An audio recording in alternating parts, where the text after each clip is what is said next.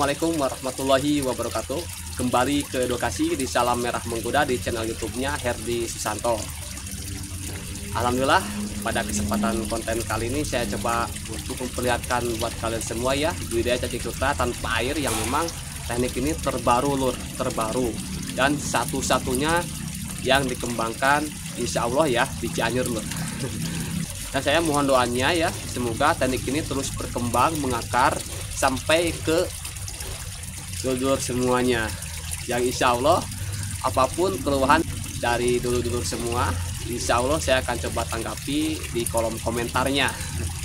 Dan bagi kalian yang ingin mencoba untuk praktek langsung ke tempat saya insya Allah lur saya akan coba kasih cara-caranya dimulai dari membuat pakan cacing sutra mengolah media cacing sutra dan juga cara pemeliharaan cacing sutra dan nanti juga nih bakal dikasih bekal starter cacing sutra dari saya lur berikut pakannya insya Allah saya akan coba bekalkan buat kalian semua yang praktek di tempat saya. Oke lur. Di kesempatan konten kali ini saya akan coba perlihatkan buat kalian semua ya. Ternak cacing sutra atau budidaya cacing sutra tanpa air yang sudah jadi seperti apa sih penampakannya? Ini lur yang memang sangat ditunggu-tunggu ya bagi uh, apa pembudidaya cacing yang di mana merah menggoda ini sangat diharapkan sekali lur. Apalagi merahnya itu benar-benar siap dipanen. Wah benar-benar sangat menggoda sekali pokoknya lur kalau kita melihat si merahnya. Dan saya akan coba kasih tahu bagaimana caranya cara kita ngasih makan cacing sutra di teknik budidaya cacing sutra tanpa air yang sudah jadi. Ini pasti beda ya ini pasti beda dengan teknik budidaya cacing sutra tanpa air yang pada saat kita memulai. Ini benar-benar beda sekali caranya. Oleh sebab itu saya akan coba kasih tahu caranya di kesempatan konten kali ini. Ini dia ya budidaya cacing sutra tanpa air yang sudah jadi dan cara memberi makannya seperti apa. Kita simak videonya. Mantap. Oke lur kita lihat ya. Ini budidaya cacing sutra tanpa air kalau sudah jadi penampakannya kayak gini lur. Memang benar-benar sangat menggoda sekali ya. Ini sudah siap panen sepertinya. Oke tuh. Merah-merah ya. Semua tuh hampir merata ke setiap permukaan lumpur. Ini makanannya itu fermentasi ampas tahu. Bila kalian ingin mencoba untuk membuat cara fermentasinya nanti saya akan coba tinggalkan link cara fermentasi ampas tahu di deskripsi video ini tuh jadi setelah dikasih ampas tahu si cacing ini mulai memproses ya atau mulai makan tuh di tengah-tengah ini ada merah-merah cacing sutra oke kita lihat yang atasnya Oh, yang atasnya juga sama ya. Sama. Nah, ini nih. Ini cacing sutra merah-merah. Oke. Nah. Ini kalau menurut saya ini benar-benar padat ya, tuh. Padat sekali. Itu cacing sutranya tuh. Ini kemungkinan makanannya habis. Jadi nanti ampas tahu fermentasi ini dia akan berubah warnanya menjadi warna hijau kayak lumut lah ini memang lumut tapi lumut halus bukan lumut kasar ya jadi penampakannya seperti ini lur kalau budidaya cacing sutra tanpa air sudah jadi. Mantap sekali pokoknya ya. Ini tutorialnya sudah saya berikan. Dan sekarang umurnya ini sudah dua bulanan lebih atau mungkin ini sudah tiga bulanan ya. Dari semenjak saya tebar starter hanya segenggam tangan saja. Sekarang udah banyak tuh. Merah menggoda. Oke saya akan coba lihat lagi yang lain nih saya juga akan kasih tahu buat kalian semua nih ya cacing sutra yang ada di sini ini starternya lur ya. Sekarang udah banyak lagi tuh starternya. Bahkan ini bisa kita ambil untuk kita simpan di wadah yang kecil. Kayak gini nih ya.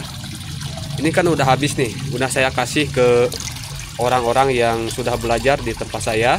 Mudah-mudahan mereka berhasil juga ya untuk mengembangkannya. Ini sudah habis. Tinggal dua lagi nih ini akan saya isi lagi. Jadi setiap orang yang belajar langsung ke tempat saya insya Allah saya akan coba bekalkan starternya ini nih ya. Satu atau dua wadah. Dan juga pakannya. Nah ini pakannya ini. Dari fermentasi ampas tahu juga saya akan uh, apa bekalkan juga. Kalau lumpur pasti banyak lah ya. Dan ini tinggal dua lagi sisanya lur. Tuh. Nah ini lur ya jadi penampakannya tuh benar-benar merah menggoda dan ini masih tetap bertahan. Oke tuh. Jadi penampakannya kalau sudah jadi seperti ini loh ya tuh. Mantap sekali pokoknya. Oke kebetulan sekali. Saya akan ngasih jadwal makan untuk cacing sutra yang ada di talang air yang itu loh oke lor ya. Coba perhatikan nih cacingnya ini banyak sebenarnya. Karena makanannya habis nah ini bekas makanannya ya. Habis. Jadi cacing sutra itu tidak menampakkan dirinya kayak yang di sana ya merah menggoda. Ini sebenarnya kalau kita kasih pakan dari fermentasi ampas tahu ini yang sudah dicampur dengan air insya Allah nih dalam waktu dua jam ini merah menggoda lur. Sama kayak itu ya. Jadi penampakannya kayak gini kalau cacing sutra belum dikasih makan. Kalau kita perhatikan nih lur. Coba perhatikan ini lur tuh ya cacing sutranya tuh nah ini nih. Oke saya akan coba gerakan talang airnya. Cacing sutra akan ikut bergerak. Tuh banyak banget ya. Oke saya akan kasih makan dengan fermentasi ampas tahu. Ini tidak saya kasih lumpur. Kenapa? Karena cacing sutra yang ada di tempat saya ini ini sudah benar-benar banyak. Artinya pakan yang kita berikan ini insya Allah akan cepat terurai sama cacing sutra jadi kemungkinan besar satu hari bisa habis dan tidak keburu dihinggapi oleh lalat atau hewan-hewan lain. Bismillahirrahmanirrahim. Nah, lur kayak gini lur ya. Cara ngasih makan. Terus kenapa yang kemarin dikasih lumpur? Ya itu karena yang dikasih lumpur itu khusus untuk awal penebaran ya sampai cacing mulai berkembang. Biasanya kalau saat penebaran awal ini sampai satu bulan kan cacing masih perkembangannya itu masih minim ya masih belum banyak. Jadi kita sarankan untuk ngasih makan dicampur dengan lumpur. Itu tujuannya agar tidak mengundang bau yang dihasilkan terus juga agar tidak memancing datangnya hewan-hewan lain lur karena dari umur 1 sampai satu bulan atau sampai satu bulan setengah biasanya cacing belum banyak yang berkembang. Masih sedikit. Jadi kalau kita kasih makan tidak cepat langsung habis dalam satu hari. Bahkan butuh tiga hari untuk habis.